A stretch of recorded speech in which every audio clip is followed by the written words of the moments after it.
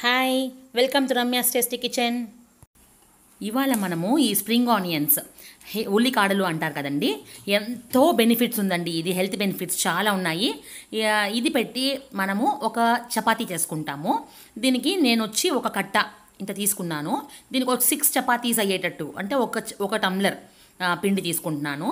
ఇది ఎలా క్లీన్ చేసుకోవాలంటే బాగా వాష్ చేసేసుకొని చూడండి ఇలా ఈ కింద ఉండే పార్ట్ మొత్తం కొద్దిగా ఇలా కట్ చేసేసి మిగతా అన్నీ వాడేసుకోవచ్చు. ఇలా కొద్దిగా ఇలా కట్ చేసేసుకొని మిగతా ఫుల్ పార్ట్ మొత్తం వాడేసుకోవచ్చు అండి ఇది.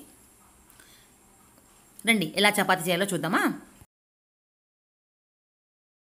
ముందుగా ఒక టమ్లర్ గోధుమ పిండి తీసుకున్నాము. దాని తగ్గ ఉప్పు వేసుకుంటున్నాను. కొద్దిగా పసుపు వేసుకుంటాము. ఒక చిన్న స్పూన్ జీలకర్ర పొడి వేసుకుంటున్నాను. ఒక కాల్ స్పూన్ నార్మల్ మిరప్పొడి వేసుకుంటాను. ఒక్క half spoon ginger garlic paste వేసుకుంటున్నాను.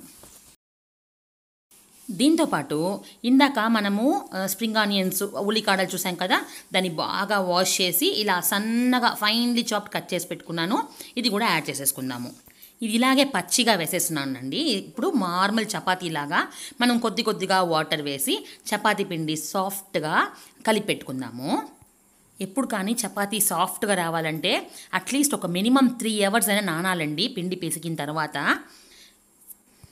ఇప్పుడు చూడండి దాదాపు అయిపోతుంది. ఇప్పుడు ఒక స్పూన్ ఆయిల్ వేసి ఇలా కలిపి పెట్టి ఒక త్రీ అవర్స్ నానబెట్టుకుందామండి.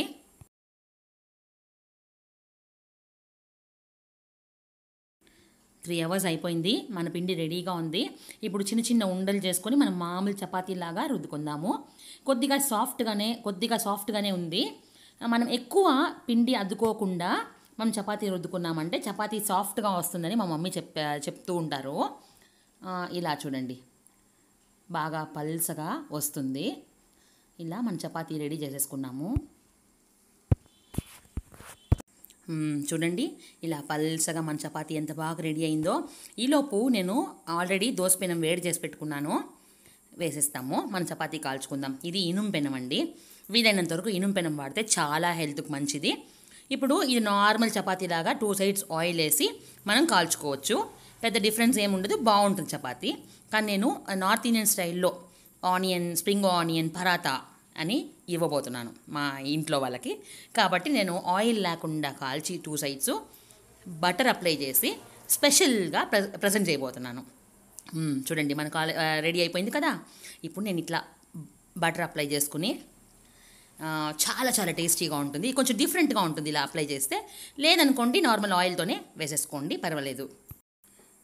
అంతే మన స్ప్రింగ్ ఆనియన్ ఉల్లికాడల చపాతీ రెడీ. మరి తప్పకుండా ట్రై చేయండి. టేస్టీగా ఉంటుంది కంపల్సరీ అప్రిసియేషన్ మీకు. మరి యూజువల్గా నేను అడిగేదే అండి? నాకు ఛానల్ సపోర్ట్ చేయాలంటే నా ఛానల్ లైక్ చేయండి షేర్ చేయండి సబ్స్క్రైబ్ చేయండి. మళ్ళీ ఒక వీడియోలో కలుద్దాం. Thanks for watching bye